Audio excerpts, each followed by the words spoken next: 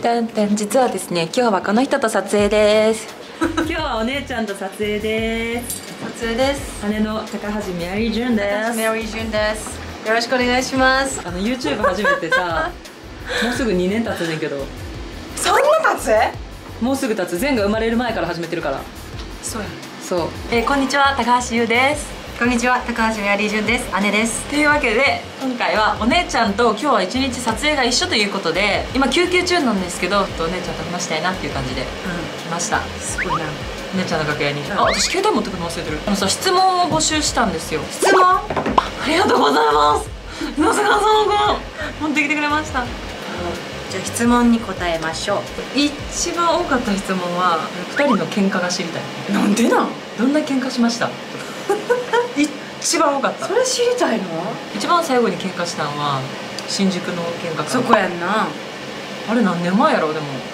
3年前ぐらいちゃう。お姉ちゃんが番組に出るってなってそのお姉ちゃんのことを密着してくれてる番組やってでその撮その収録に向けて私が事前にインタビューを受けてたんやんな。でお姉ちゃんってどんな人ですか？って聞かれて「めっちゃ方向音痴なんです」って。その建物から出て右か左かが分かんないんですよみたいなうん、感じで言ったんよ私が。あでそれが私がなわけないやんってな。そう。だって右と左なんてどこにいても分かるわって私がそう。分かるわな、っていうので、うそのお姉ちゃんが収録終わった後に2人で英会話教室に行くからって言って、うん。新宿西口のところで待ち合わせしてたんよ。でお姉ちゃんと待ち合わせした瞬間お姉ちゃんに「いや右か左かぐらい分かんないんけど」言われ怖い怖い「分かんないやん」私もちょっと。あそうそう分かるんやみたいな感じやった。もうすでにもうちょっと私も喧嘩越し、うん、分かる分かるわ。右で左や。分かるがな。こっちが左にならんがなってことやな。ってて思ってて、そうそう。であんたそのさ話盛るくせやめてくれへん。めっちゃやりづらいから仕事、うん、うん、いやそうほんま、うん、ほんまに言ってた。あ持ってへんし。私。なんかリズム刻んでなんかヘッドホンしてんねんな。あなんなんその態度やめ。あんた話盛りすぎやねんアリも食べてへんくせに。過去の話持ち出してな。アリは食べたわみたいになって。やめてえわって言いながらもうあの小田急かなあれ。新宿西口の小田急のちょっとデパートを歩きながら外に出てで外歩きながらもずっとそのやり取りやな。ずっともうずっとゆうちゃんが幼少期に地元でアリを食った食ってへんのやりとり。ずっと叫びながら。食べたわ言うて。食ってへんわ。食べたわ見てへんだけやろ。食べてへんわ最近テレビに出るようになってから急にししだしたやんけ。聞かれたから言うたんや。絶対持ってるやんけ。持ってへんわっていう。持っとるわっていうのがもうほんまに長くあって。お前嘘つくなって味こうなんか指指さして。そうそう。で私が「指さすね!」あーっつってバチね。背中背中。バチンこれパーンの音がパーン。すっごい響いて。もうお互いもう切れてたから自分が悪いの分かってるしと思って。でもなんかもうどうしようもないからエクセル仕様があったからもうパッて中入って逃げたね。お店の中に。そしたら空いてる席がお店の外。しかもガラス張りの窓際やね。もうお姉ちゃん外に置いてきたまま私入ってきたけど一番お姉ちゃんのめっちゃ近くに座るみたいな。で私は店内でもずっとって泣いててそれも丸見えでこっちからうわ泣いとるわ。うわでもほんまに叩いたんはほんまに申し訳なかったわと思ってて、うんありがとう。いやでもほんまでもめっちゃムカつきすぎてやばい。これ落ち着かせなあかんってお母さんに電話してたよでもある程度話して仲直りしみたいな感じででも泣いてるゆうちゃんもかも可愛く見えてかわいそうってなって入ってな。ちゃんと二人掛けのとこ座ってたから。席取っといてくれたよな私のな。そう。かわいい。お姉ちゃん目の前座ってきて、お姉ちゃんから謝ってくれてんな。あごめんこんなに怒るのは、お姉ちゃんあのすっごく大切やから。大切やからすっごい腹立ってしまった。ごめんなって言ってくれたのめっちゃ覚えてる。ごめん背中も叩いてごめんみたいな言われて私がごめん私もなんか仕事やりづらくしてごめんって言って。ーその場であれかハグハグしたもん。ハグしてお互い英会話受けて英会話受けた後に新宿西口までお互い歩いてバイバイって解散する時も姉ちゃんが「I love you」そうやハグしてくれて仲直りした。もう一個多かった質問が「まあ喧嘩もしてるけどそんなにずっと仲いいんですか?」っていう質問めっちゃ多い「姉妹なんで仲いいんですか？仲いい秘訣教えてください」でもちっちゃい頃はでも喧嘩してたもんな。めっちゃしてた。でもきっかけはやっぱり私のアメリカ留学かな、ずっと一緒に住んでたんですけど私が14歳の時にまあラスベガスに留学しまして約1年ぐらい離れてて。そうそう離れてて。その時に大切さを、んねめっちゃ実感したよね、うん、お姉ちゃんに会いたいなって思いも私がすごい強くなってお姉ちゃんが帰ってきてからはもうべったり。そうやんなそっからもうめっちゃ仲いい。そっから仲いい。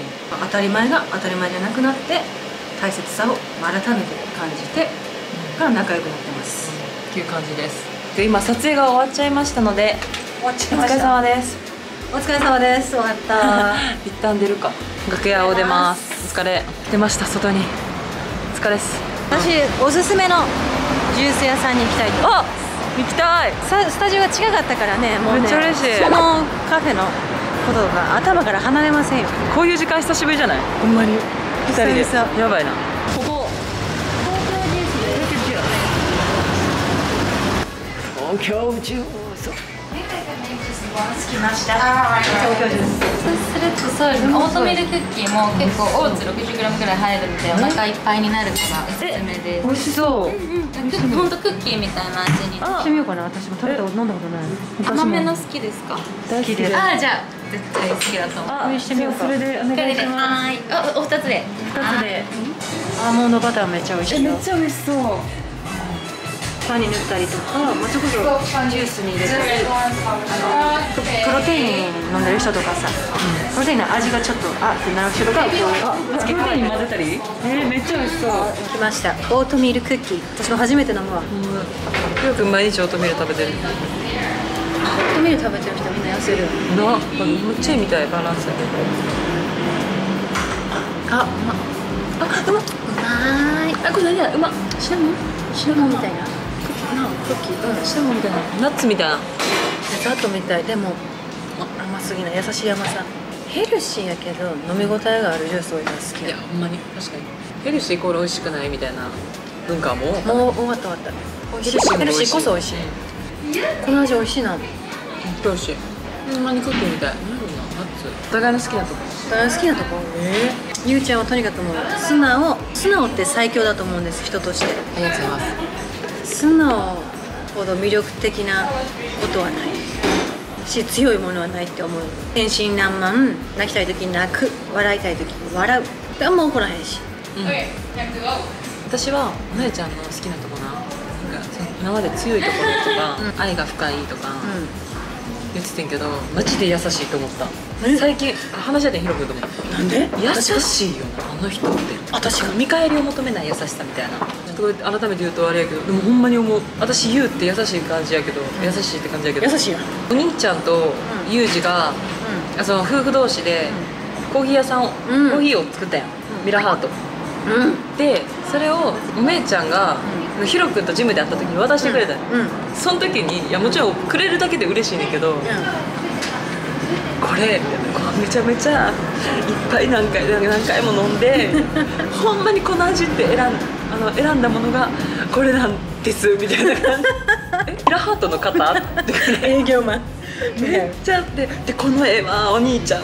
弟がおお姉ちゃんだったら弟がの G がこれやってみたいな,、なんかめっちゃ説明してる姿を見て、ヒロ君があめっちゃ優しいなみたいな。すっごい思っ 兄弟のこと思ってくれてはるなみたいな話して、えーほんまにそう思うなと思って質問たくさんいただいたんですけど1個質問されるとたくさん話したくなっちゃうので また改めて改めて。出てきてください。はい。私の YouTube に。出てきます。やらへんの YouTube ずっとやろうやろうと。うん。動画を撮ってる。おおマジ？でもそういう自然系の動画しか撮ってない。あめっちゃいい。喋りとかじゃなくて。こういうのをみんなやってほしいことは分かっている。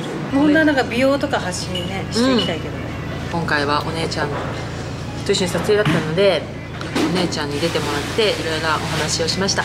お姉ちゃんおすすめのドリンクも飲みました、ありがとう。えーこの動画良かったと思ってくださった方はチャンネル登録と高評価ボタンよろしくお願いします。いつも押してくれてるって。いつも押してるまず開いてすぐ押す。ありがとう。